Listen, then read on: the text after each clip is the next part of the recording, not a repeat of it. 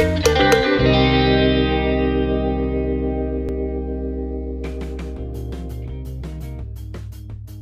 really excited to say that after touching down 130 plus countries and 1000 plus cities, Startup Weekend powered by Google for Entrepreneurs has come down to our city that is Indore. So I had a lot of queries. What is Startup Weekend? So essentially Startup Weekend is a 54 hour long event where you would first pitch your idea, vote for your favorites and form your team or join someone else.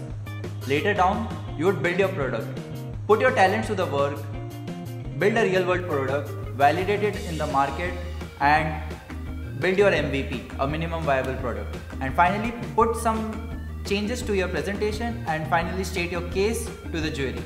That's all. You would validate your idea in a matter of just three days. It's a great platform to validate your ideas for the real world.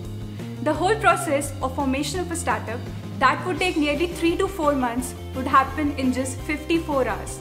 No talk, all action. So, friends, let's end this year with a big start. You don't need an idea, you don't need a team.